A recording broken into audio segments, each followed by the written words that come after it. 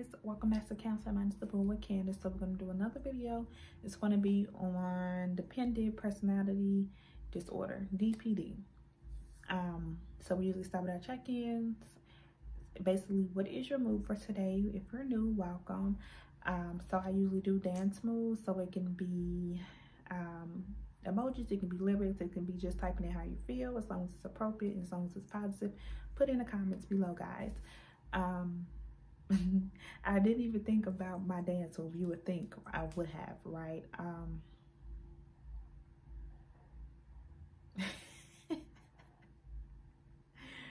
oh my gosh. Um, I don't know. I don't know. Um, I don't know. Whatever. There you go. So that's kind of my mood of today. It's kind of like, okay. there you go. So jumping right into it, so dependent personality disorder.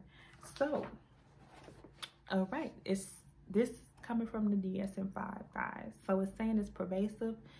It's a pervasive need to be taken care of that leads to some submissive and clingy behavior and fears of separation beginning by early adulthood and present in variety of contexts. Um, so you, the DSM stated that you must have five or more of this um, criteria um, that we'll be getting to now.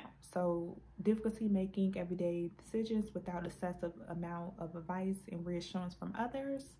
Um, needing others to assure responsibility for most major areas of life. Um, difficulty expressing disagreements with others because of fear of loss of support or approval um, and it does not include realistic fears, so was disproportionate. Um, you have difficulty initiating projects or doing things on your own because of a lack of confidence and judgment or abilities, rather due to like a lack of motivation or energy. Um, the individual may also go to excessive lengths to obtain nurturance and support from others to the point of volunteering themselves to do things that's unpleasant to them. Um, so doing things that you really don't want to do, right? Um, the individual may have fears, uh, being uncomfortable, um, fears uncomfortable or helpless when alone because of the exaggerated fears of being unable to care for themselves. The individual may urgently seek another relationship as a source of care and support when the another close relationship has ended and then um, the individual may experience unrealistic preoccupied maybe experiencing unrealistic preoccupied with fears of being left to take care of themselves right? So the treatment the main treatment is psychotherapy. We say that for short talk therapy for short right? Um, as far as treatment, the individual generally do not seek treatment for the disorder. They generally come in for treatment for um, problems they're experiencing in their life, um, which is related to thinking or behavior related to the disorder.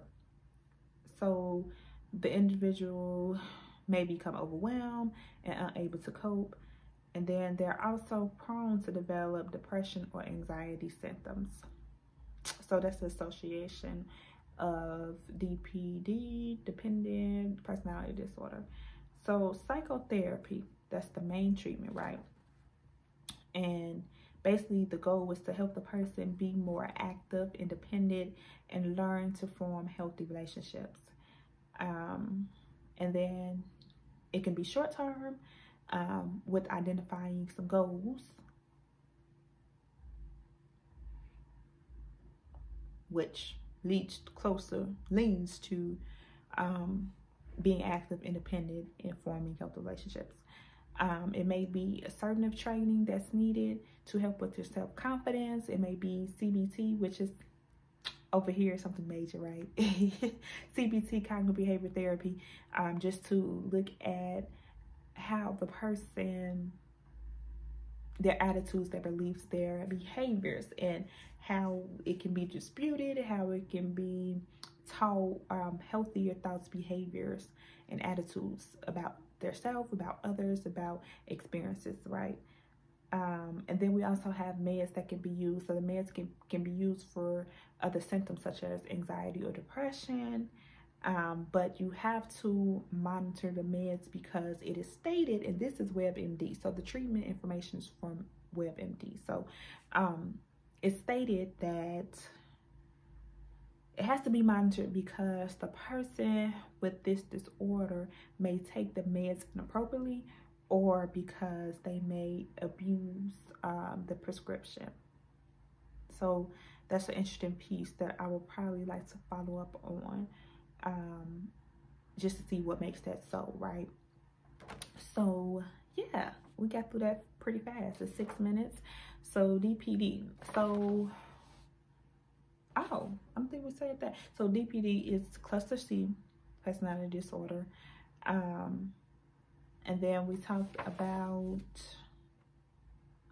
what the DSM says it is as far as criteria. You need to have five, right? We talked about some of the treatment um, with psychotherapy being the main treatment with the goals to look at independence, being active, and to help with forming relationships. We talked about assertiveness training. We talked about, oh, if you don't know what assertiveness training is, it's, it's basically a training to become more assertive. So it helps with like your decision making and being able to speak up and things of that nature. So you can kind of see that that would be good for, if you've been watching the videos, that'd be good for different disorders, right? Um, as far as maybe social phobia, as far as um, avoidant personality disorder. So it can be done with a lot of things, um, basically to get you to speak up and to um, help with your confidence. Um, and then, you know, that helps with saying no. I'm not feeling bad, right?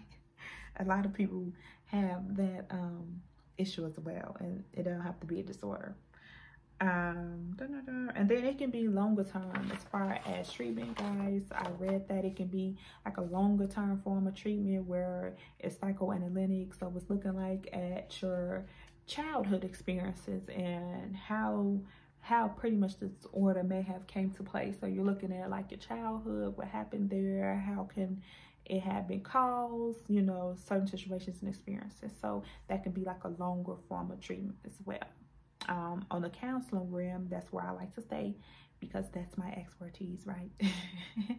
but um, yes, so we're gonna wrap it up here, guys. We're at the eight minute mark. Um, we really got through these videos pretty quick. Like, share, and subscribe. Like, share, and subscribe. Comment. Let me know um, how you're feeling today. Let me know if you had experience with these symptoms before. Let me know if you know somebody with this.